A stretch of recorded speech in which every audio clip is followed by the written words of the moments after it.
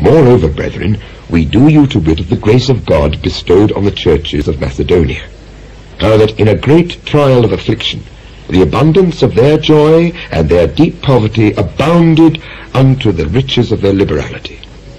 For to their power I bear record, yea, and beyond their power, they were willing of themselves, praying us with much entreaty that I would receive the gift and take upon us the fellowship of the ministering to the saints.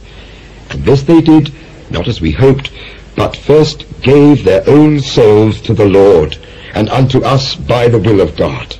Insomuch that we desired Titus, that as he had begun, so he would also finish in you the same grace also. Therefore, as ye abound in everything, in faith, and utterance, and knowledge, and in all diligence, and in your love to us, see that ye abound in this grace also. I speak not by commandment, but by occasion of the forwardness of others, and to prove the sincerity of your love. For ye know of the grace of our Lord Jesus Christ, that though he was rich, yet for your sakes he became poor, that ye, through his poverty, might be rich. And herein I give my advice, for this is expedient for you, who have begun before, not only to do, but also to be forward a year ago. Now therefore perform the doing of it, that as there was a readiness to will, so there may be a performance also out of that which ye have. For if there be first a willing mind, it is accepted according to that a man hath, and not according to that he hath not. For I mean not that other men be eased, and ye burdened, but by an equality, that now at this time your abundance may be a supply for their want, that their abundance also may be a supply for your want, that there may be equality.